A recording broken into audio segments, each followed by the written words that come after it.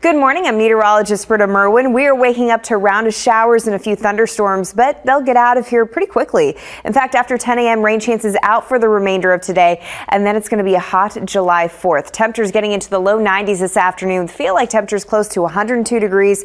So drink plenty of water, have fun with your family. By the time we get to firework time, expect mostly clear skies with temperatures going back down into the mid 80s.